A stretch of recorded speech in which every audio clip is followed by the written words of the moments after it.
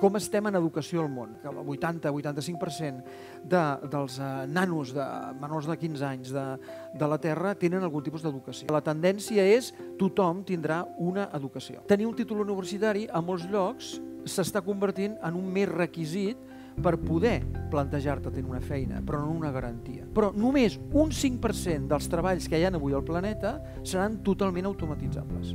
És a dir, que el futur no és un futur de substitució d'humans, sinó és un futur de complementació d'humans. Països més automatitzats són els que tindran menys atur. El futur és un humà que queda augmentat per una màquina. Màquines que optimitzen la enginyeria, humans que utilitzen la seva imaginació per generar nous conceptes que una màquina és molt difícil que faci. Primera cosa, l'educació canviarà radicalment en el moment en què entenguem que, com funciona el cervell humà. El que de valor són les preguntes, perquè les respostes es faran.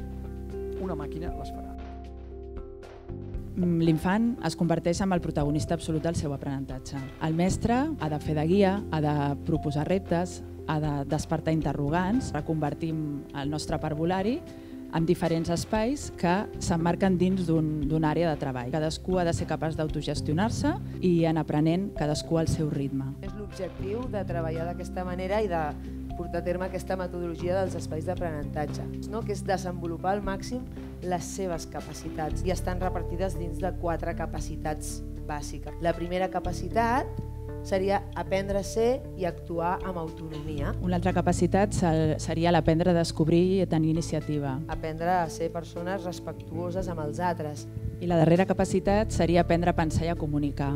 En Joia és la creació de 15 joies contemporànies que representen les reflexions de l'alumnat al voltant de 15 de 17, eh, dels 17 objectius de desenvolupament sostenible. El que hem aconseguit és una experiència innovadora i de cocreació. En Joia neix d'una de, demanda del Departament d'Innovació sobre l'ús de les noves tecnologies. I ens inspirem en la, la metodologia del Design for Change. Llavors, ho basem en quatre fases, que serien sentir, imaginar, actuar i compartir.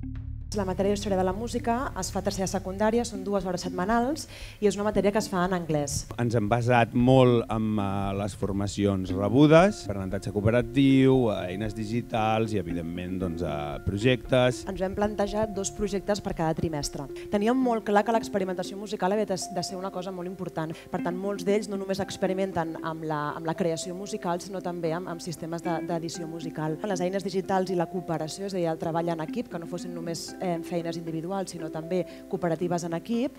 La Fundació ha estrenat itineraris a quart d'ESO. Simplement us explicaré alguns dels objectius bàsics de la matèria. Un d'ells és familiaritzar els nostres alumnes amb, amb les dinàmiques econòmiques que es produeixen al seu entorn. Un segon objectiu evident, oferir-los eines per, per interpretar l'actualitat. L'hem treballat en un projecte d'emprenedoria que tot seguit us explicarà la Mariona. Uh, el que nosaltres vam fer va ser un uh, projecte de bar per la festa de l'escola. Tota l'anàlisi de costos, tot el finançament, és a dir, uh, ens va sorprendre molt com de realista va arribar a ser eh, tota la, tot el que feien. A través d'un treball de recerca concret que es titula Refugiats passat i present, el treball de recerca al final eh, mostra una idea d'educació molt interessant i és que a partir de l'interès del neguit de l'alumnat es construeix eh, tot un camí quan emmarquem la, la recerca, en aquest cas les alumnes es van plantejar aquesta pregunta, ha canviat la situació dels refugiats al llarg del temps? Això s'ho van inventar uns japonesos que van fer un estudi d'empresa i eh, per optimitzar els resultats. Aquestes reunions, que es diuen Scrum, com que cada aula treballen dos educadors, eh, un dels educadors va a un dels grups de Scrum i l'altre educador va a l'altre grup de Scrum. Són els educadors els que s'organitzen per muntar els equips, els equips van rotant i aquí el que genera és molta empatia. És molt fàcil posar-te en el lloc de l'altre quan en una reunió de peu dret i molt ràpid el company et diu eh, l'altre dia ho vaig passar molt malament. El segon pas de l'Scrum és marcar-se uns objectius per la setmana propera i el tercer pas és definir com.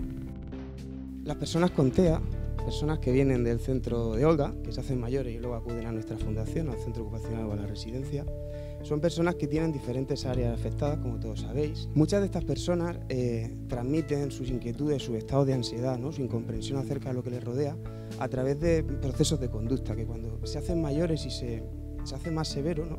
pueden dificultar muchísimo la incorporación a, a, a entornos cotidianos. ¿no? Esta actividad de balneario, que como digo costó seis meses de preparación, en este caso, bueno, pues hay que hacer una ardua labor de, de documentación, entrega de papeles, informes médicos, justificaciones. Había unas preocupaciones que realmente pertenecían más a familias de, de, de nenes de 3-4 años, no habían dormido nunca fuera de su casa. ¿Cómo, cuándo y qué íbamos a comer? ¿no? Era una de las preocupaciones que aparecían. Es decir, preparamos todo el material anticipatorio. Fue maravilloso, pero muchos de ellos, al ser un contexto nuevo, como era previsible, presentaron conducta.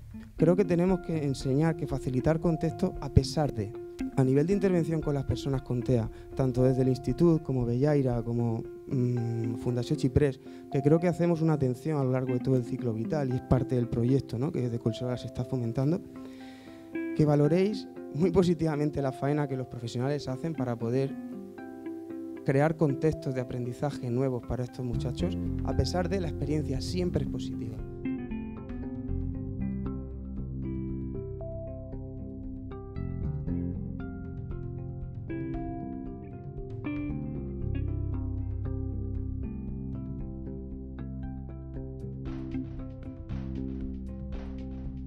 De fet, el que jo faig es diu edu edutainment, que vol dir education and entertainment.